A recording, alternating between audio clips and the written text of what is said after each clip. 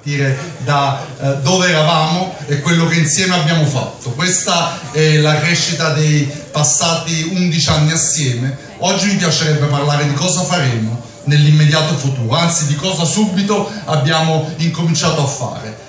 Siete qui sulla seconda delle navi del progetto Rinascimento, MSC Sinfonia, seguiranno poi opera e lirica e questo è un progetto importantissimo a prescindere per l'investimento, ma eh, perché di fatto aumenta la capacità della nostra flotta di ben 800 cabine, è come se ci fosse un'ulteriore nuova nave.